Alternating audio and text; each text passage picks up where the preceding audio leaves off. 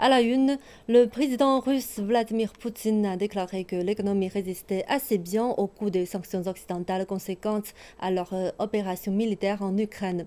Il a souligné que les indicateurs macroéconomiques du pays étaient en la preuve. Vladimir Poutine a prononcé ses commentaires lors d'un entretien lundi avec le président biélorusse Alexandre Loukachenko en visite à Sochi. Il a ajouté que la Russie et la Biélorussie avaient de nombreux domaines de coopération, notamment dans les domaines de l'énergie et de l'agriculture. Alexandre Loukachenko a indiqué que les pays occidentaux ont donné à la Biélorussie et à la Russie une impulsion pour développer leurs propres économies de manière plus intensive, incitant les atouts du pays en matière de marché, de ressources et de technologie.